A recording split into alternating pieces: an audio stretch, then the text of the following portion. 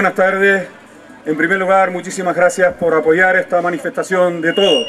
Defender nuestro territorio, defender lo que queremos o no queremos para nuestro pueblo.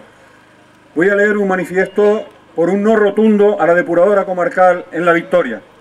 Hoy, los vecinos y vecinas de La Victoria de Centejo queremos manifestar con contundencia y a la vez con razones de peso que no queremos la depuradora comarcal en nuestro municipio.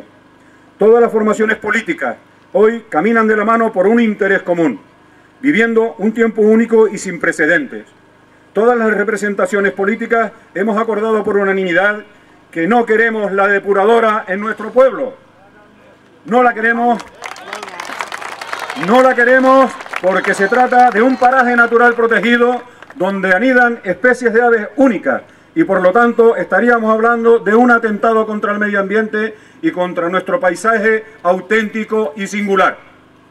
Porque próximo a esta estación depuradora de aguas residuales se encuentran núcleos urbanos tan importantes como los de cualquier otro municipio.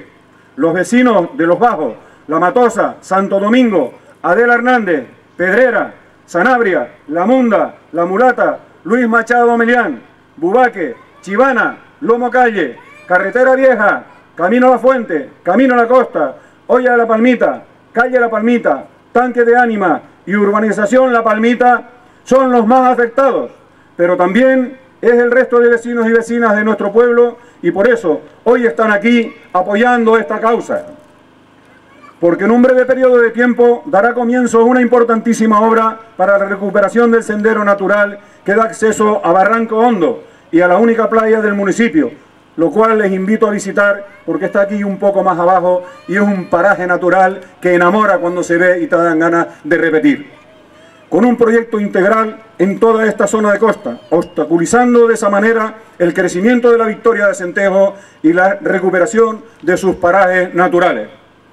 Porque la instalación de la depuradora hará un daño irreparable al paisaje en general y al proyecto de expansión turístico y cultural que tenemos de nuestro bello municipio. Proyecto que empieza a dar su fruto y a generar también economía. Porque esta construcción se convierte en un atentado contra las cuevas situadas en el barranco, actualmente en investigación por su posible valor histórico.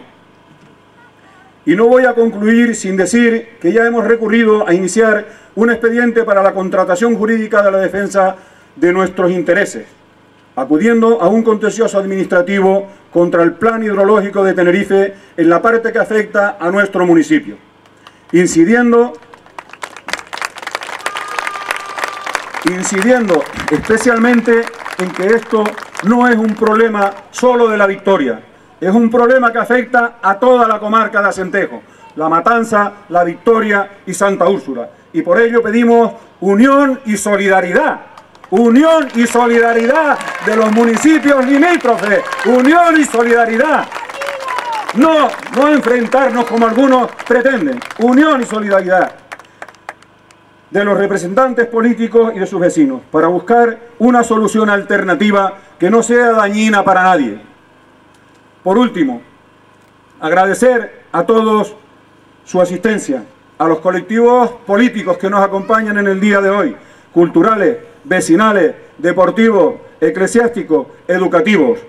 A todos nuestros vecinos y vecinas por hacer un frente común, por su lucha y por su implicación. Sin ustedes no podremos conseguirlo nunca. Por el bien de nuestras futuras generaciones. Por el bien de nuestras futuras generaciones. Otra alternativa a este lugar es posible. Y en la victoria lo decidimos los victorieros y victorieras. No a la depuradora comarcal. No a la depuradora comarcal. No a la depuradora comarcal en la victoria. Muchísimas gracias a todos. Un fuerte abrazo.